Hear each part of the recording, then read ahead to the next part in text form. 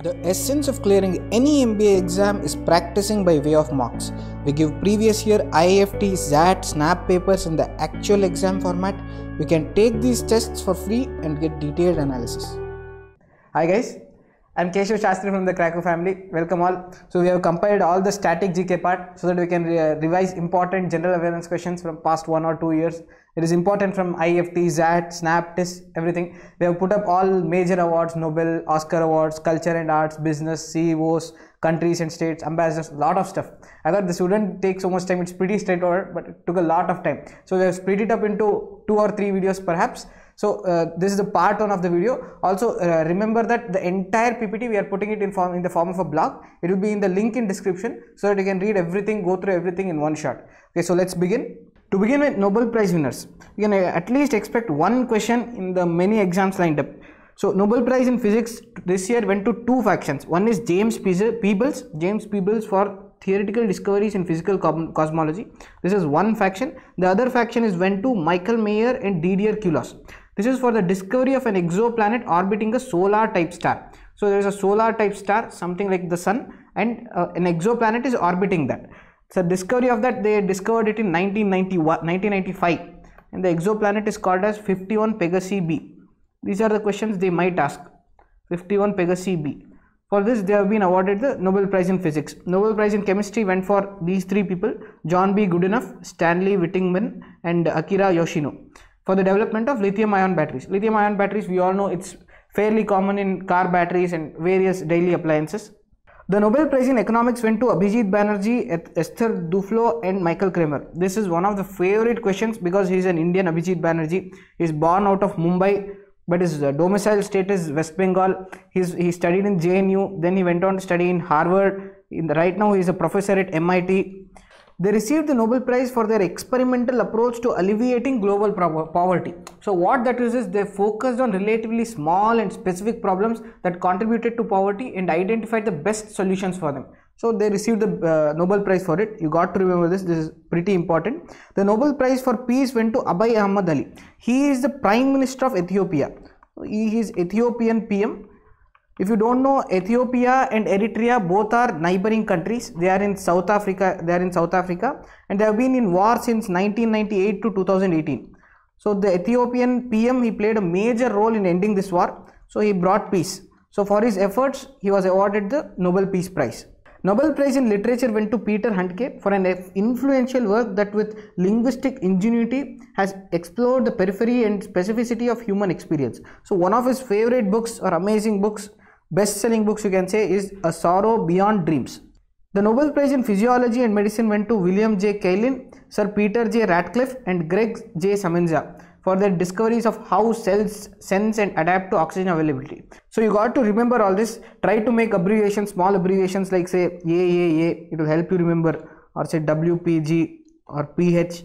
Try to remember these are favorite questions. Most often you can expect it. Coming to the Booker Awards. So Man Booker is one of the prestigious awards for literature.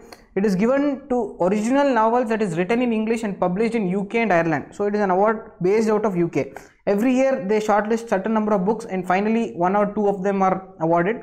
This year 13 books were shortlisted. Out of them these are the final 6 nominated. Out of this there are two books which finally won the Man Booker prize. One was by The Testaments by Margaret Atwood. The other one was Girl, Women, Other by Bernardine Evaristo. So this book Girl, Women, Other, it follows the lives of 12 different people in the United States across several decades. So it is a very telling story and vivid imagination. So it won the Man Booker Prize this year. Also one fact to remember is there are two Indians who won the Man Booker Prize. One is Salman Rushdie for his book The Midnight's Children and one more is Arundhati Roy. Arundhati Roy won the Booker Award for her book God of Small Things. You can remember this too. Coming to Pulitzer Awards, Pulitzer is awarded for 21 different categories. It is an American based uh, uh, award you can say. It is based out of New York City. It is awarded for outstanding public service and uh, achievement in American journalism, letters and music. So this year fiction prize went to Richard Powers. The oven story is related to environment, how important it is to preserve our environment, how it is important that we stop deforestation. It is the life of nine Americans, how they are connected, their life is connected to trees. An excellent book. So the fiction prize went to Richard Powers, drama prize went to Jackie Sibblies, Derby. Poetry prize went to Horace Gander. Music prize went to Ellen Reid. Again, Ellen Reid, she is an opera artist for her opera composition, an original composition of opera by Ellen Reid that is called as Prism. For this, she was awarded the Pulitzer Award this year. The History Award. History Award went to David W. Blight. This is pretty important. You can remember this. Frederick Douglass. Who is Frederick Douglass? He was an American social reformer, abolitionist. He came out of slavery and he uh, started the abolitionist movement. So David W. Blight was awarded the History Prize of Pulitzer Award for this. Photography prize went to Lorenzo Tugnoli. Coming to major tennis awards, there are four important Grand Slams which happens every year. One is the Australian Open, another one is French Open, which is famously called as Roland Garros. It's a place in Paris, France. The third one is US Open, and the fourth one is Wimbledon. Wimbledon, which is in London. Remember who won all these competitions? It is one of the favorite question of examiners. So there are some similarities. Try to connect the dots in your head. Novak Djokovic won both uh, Australian Open as well as the Wimbledon, while Rafael Nadal won both Roland Garros as well as the US Open. So you can remember that even Simona Halep she won the Roland Garros French Open as well as the English Open Wimbledon. And lastly, Naomi Osaka, she is from Japan. Try to remember the countries as well. She won the women's singles in Australian Open, and Bianca Andreescu from Canada, she won the US Open. Also, there are some important questions like who who won the most Grand Slam? Most Grand Slam is won by Federer. He has 20 number, while Serena Williams has 23 in women. And in Indians, Sumit Nagal is a 22 years old. is a young upcoming uh, tennis player. He won the junior Grand Slam title as well. He played recently against uh, Federer, so someone to uh, remember. And in Asian Games, Rohan Bopanna and Divij Sharan, these they won the gold medal. Moving forward, major football, major football awards. This is dominated by Lionel Messi and Cristiano Ronaldo. This year, best FIFA award was won by Lionel Messi. He's from Barcelona and Argentina country. Best man, best goalkeeper went to Brazilian Alisson he belongs to Liverpool. And best FIFA's men coach went, went to Jürgen Klopp. Both Jürgen Klopp and uh, Pep Guardiola, they have amazing stories. One of the finest uh, coaches. Jürgen Klopp is currently the leading Liverpool. Coming to FIFA Puskas Award. Puskas Award is given to the best goal, most appealing, most enticing goal. This was won by Daniel Zsóri. FIFA Fair Play Award was awarded to two teams. One is Marcelo Bielsa and the other one is Leeds United. The Ballon d'Or award was given to Lionel Messi this year. And it is one of the top awards in uh, football. And coming to FIFA World Cup. FIFA World Cup was held in Russia uh, and the winner was France. France played against Croatia and they won by 4-2 this year. It was one of the amazing matches. One popular aspect about football is there are various leagues. One is the European League. European League, last European League was won by Chelsea. The Spanish League was won by Barcelona. Italian League was won by Juventus. German League was won by Bayern Munich. It might seem a lot, but if you are a football enthusiast, these are all very pretty common names, pretty common tips. And lastly, about the FIFA 5 Pro Men's World Event, this is not important, but just for fun sake, if you are interested, you can just go through this. And also, the in the World Cup, the Golden Boot Award was again given to Lionel Messi, and Golden Glove Award was given to Thibaut Courtois. He's a, he's a Belgian football player, and we all know Messi is Argentinian football player. Moving forward, coming to major cricket awards, if there is a question on cricket, you shouldn't miss it because cricket is Indians' forte. So last year cricket was dominated by Virat Kohli. So this is an award given for overall contribution in 2018. So overall based on overall contribution in 2018, the awards are given. The best cricketer of the year, test player of the year, ODI player of the year, all of them was Virat Kohli. Emerging player of the year is Rishabh Pant, most likely the next uh, wicket keeper of India. Women's cricketer of the year is Smriti Mandhana. And you should also remember the captain of women's cricket team is Mithali Raj. Women's ODI cricketer of the year was also Smriti Mandhana. And coming to major tournaments, major tournament we uh, saw this year was ICC World Cup. It was held in England, and the winner was England. They won against New Zealand, and uh, we all know that uh, India lost against New Zealand in the semi-finals. And then uh, the next World Cup location is in India. Also, the Asia Cup winner was India. Last year, India won the Asia Cup, and the Ashes was drawn. Ashes was held this year between Australia and England. This was drawn, and lately after the World Cup, India played against uh, uh, South uh, West Indies. Then they played against South Africa. Then they played against Bangladesh. They whitewashed West Indies in everything. They whitewashed South Africa. They lost one T20 against Bangladesh. Apart from that, they again won all the other matches. Coming to records, there are plenty of records set by Indians and others. These are some highlights. Muttiah Muralidharan has the highest number of wickets. Sachin Tendulkar has the highest number of uh, runs, 34,000 runs. Most double hundreds is by Rohit Sharma. He is the first one to get two double hundreds. Then you have most wickets by Anil Kumble. Only player to achieve 4,000 test runs as well as 400 test wickets. So this is Kapil Dev. And fastest century is by Virat Kohli. He did it in some 52 odd uh, balls. And coming to IPL, IPL is one of our favorites. Last year it was won by Mumbai Indians. This is the fourth time Mumbai Indian is winning. So they have won it most number of times. Chennai has won it three times. IPL orange cap was given to David Warner for uh, from Sunrisers Hyderabad. The purple cap went to CSK's Imran Tahir and emerging player was Shubman Gill. And the fair play award went to Sunrisers Hyderabad. So moving forward, venue questions when it is held is one of the type of questions that is asked in GK section. So we already saw that uh, the World Cup is going to be held in India and it will be in 2023. We have the Summer Olympics that is coming up next year. It is going to be held in Japan, Tokyo. You have Summer Olympics of 2024. That is four years after uh, in 2024 that will be held in Paris, France. The Asian Games in 2022 is in China. The Winter Olympics is also in China. Winter Olympics is held between the two Olympics that is going to be held in Beijing, China. The FIFA World Cup. FIFA World Cup last year in 2018 it was hosted by Russia. Now it will be hosted by Qatar. And the Commonwealth Games will be hosted by England in 2022. The ICC Men T20 World Cup. So again T20 World Cup and uh, Cricket World Cup alternate every two years. So this will be held in Australia. Lastly, the FIFA Women World Cup was held in France. Don't get confused here. The men's FIFA World Cup was held in Russia and the next version will be it will be held in Qatar. The women's FIFA World Cup was held in France. Before we look at the key organs of United Nations, we all know what United Nations is. It is like the mother of all the countries. It has the administrative power of all the countries, controlling and bringing everyone together. So, what uh, salient features it was started in 1945. It has 193 member states or member countries, you can say. Its major purpose is peace and security, climate change, sustainable development, many other roles. We will discuss it in detail in the upcoming slides. UN also provides a forum to its members to express views in General Assembly, the Security Council. Say India feels there is a security risk from a neighbor or uh, from some certain country, then in these forums, India goes and expresses its thought that this country we have the security threat. Uh, other bodies by enabling uh, dialogue between its members and by hosting negotiations. The UN's chief administrative officer is the Secretary General. Right now, the Secretary General is Antonio Guterres. He is a uh, United States citizen and uh, he has been serving since 2017 January 1st. So this is the uh, Secretary General is the head of United Nations. He is called as Chief Administrative Officer. That is Antonio Guterres.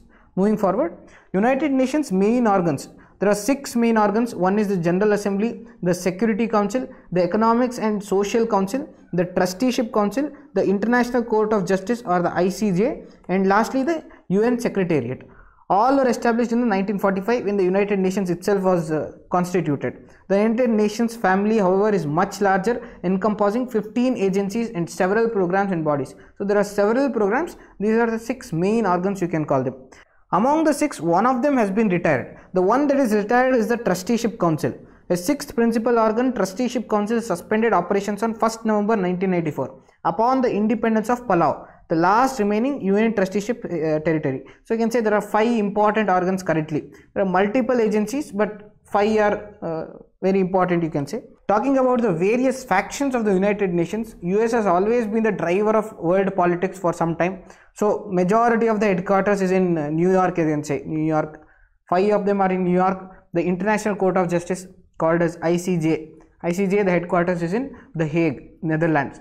And try to remember this. ICJ is in Hague, Netherlands.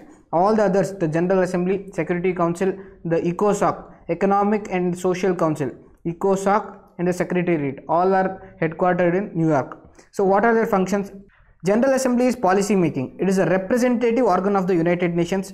Security Council, it deals with security, peace and security, maintenance of peace, international peace and security. India has lately applied for permanent membership in the Security Council. And ECOSOC, recommendations of on economic, social and environmental issue.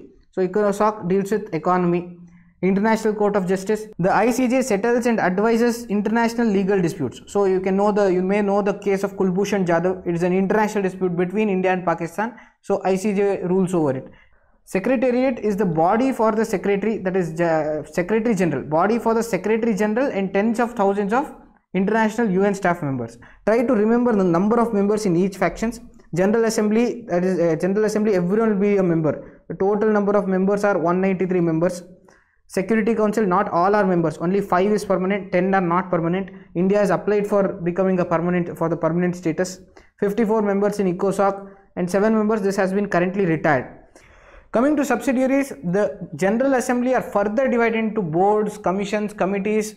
Uh, so it's a further classification. One of the subsidiary of General Assembly is UNICEF, UNDP. All of them have, have their own objectives and functionalities.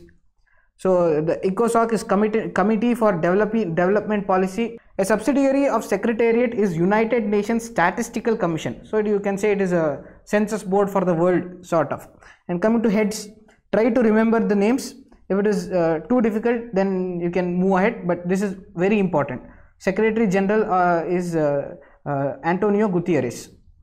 And lastly, abbreviations. This is called as ECOSOC. We discussed that this is called international court of justice is called as icj general assembly has multiple names. It is also called as unga this is how it appears popularly in news. It is called as general assembly ga or sometimes it is also referred as ag and secretariat is also referred to as world court. Coming to global bodies there are several global bodies. Try to go through each one of them. I'll try to cover the important ones current contemporarily the important one is organization of petroleum exporting countries that is opec. Right now trump has imposed a lot of sanctions on iran so the oil prices are haywire it is very volatile. So at this time opec is pretty important. President is uh, mohammad barkindo. The headquarters is, is based out of vienna australia. And the description of it is their main objective is to coordinate and unify the petroleum policies of its member countries International Monetary Fund. International Monetary Fund, the main purpose is to foster global monetary compensation or to promote international monetary cooperation between countries to facilitate the expansion and balanced growth of international trade. So all these are its objectives. Right now the president of uh, IMF is Kristalina Georgieva and the headquarters is based out of Washington DC. World Bank. World Bank, we all know we have uh, personal loans, we have small banks for personal loans, we have larger banks, corporate banks for uh, loans for companies. Similarly, we have loans, countries take loans from World Bank. The main purpose is for uh, alleviating poverty or to give developmental aid when uh, when a catastrophe strikes then world bank will come to the rescue you can say president is david malpass it is also based out of Washington DC. Provides loans and grants to the governments of poorer countries. Amnesty International and then we have International Court of Justice. We just saw ICJ. The head is Abdul Kavi Ahmad Yusuf. We saw it in the case of uh, uh, Kulbhushan Jadhav between India and Pakistan. It settles dispute across uh, international boundaries. It is based out of Hague, Netherlands. This is only one of the factions, uh, important factions of uh, UN that is based not in US. It is based in Hague, Netherlands. NATO, NATO is an international organization. It mostly comprises of uh, European countries, all the developed and uh, developing countries of Europe. You also have US, Canada, and a few other countries. The main purpose is security cooperation to guarantee the freedom and security of its members through political and military means. It is headquartered in Belgium, Brussels. ASEAN is Association of Southeast Asian Nations. That is, India is not part of ASEAN. The countries that is east of uh, India, that is countries like uh, Indonesia, Thailand, uh, Singapore, Malaysia, Philippines, Brunei, Cambodia, Laos, all these come under ASEAN. So the purpose is to accelerate economic growth, social progress and cultural development. So these all these Asian countries are very close to India. They are towards the east of India. So again it is important that we know it. It is based out of Jakarta. The capital of Indonesia is Jakarta. It is based out in Indonesia. World Trade Organization. World Trade Organization is headed by Roberto Azevedo. Roberto Azevedo. And the headquarters is Geneva. Geneva is in Switzerland. And the purpose of World Trade Organization is to promote trade. Promote trade or globalization to ensure that trade flows as smoothly, predictably and freely as possible. So to promote globalization, that is the purpose of World Trade Organization. The president is Roberto Azevedo. Coming to BRICS, BRICS stands for five nations. One is Brazil, one is India, we have China, and then we have South Africa. all of them are developing countries and uh, the headquarters is based out of Shanghai, China. This is for assisting development countries. This is for assisting developing countries. And lastly, SAARC. SAARC stands for South Asian Association for Regional Cooperation. The member countries are say Afghanistan is there, you have Bangladesh, we have uh, Bhutan, we have India, we have Maldives, we have Nepal, we have uh, Pakistan, we have Sri Lanka. So all these are members of SAARC. The president of SAARC is Amjad Hussein B. Sial. So this is also important. SAARC is very relevant to India. So the president of uh, SAARC is Amjad Hussein B. Sial. It is based out of Kathmandu, Nepal. The headquarters is in Kathmandu, Nepal. The purpose is to quicken the economic growth, social progress, and cultural development. Just like the Europeans have NATO or the East countries, uh, countries east of India have ASEAN. Similarly, SAARC is the countries of India, surrounding neighbors surrounding India. So the uh, president is Amjad Hussein B. Sial and the purpose is to accelerate growth, social progress and cultural development. And also one more important thing to remember is RCEP. So what is RCEP? RCEP is Regional Comprehensive Economic Partnership. So to give you a brief, RCEP is a proposed mega free trade agreement, mega free trade agreement between 16 countries. The, among the 16 there are 10 Asian countries. We already saw Laos, Myanmar, we have uh, Cambodia, all those countries along with India, China, Australia, New Zealand, uh, Japan and South Korea. So all these 16 countries came together for a free trade agreement. So it is a move towards globalization. All the products and services are much cheaper. The imported products are cheaper. But this would have affected Indian farmers and many other local manufacturers. So India had these outstanding issues with uh, RCEP that Indian farmers will be hit, the poorer will become more poor. So India exited the RCEP deal. This is an important information to remember. There is still a lot of ground to cover when it comes to GK, but uh, as and when how much ever we are able to complete, we are uploading it. So we'll upload some more part of it tomorrow. So keep tuned, guys. Good luck.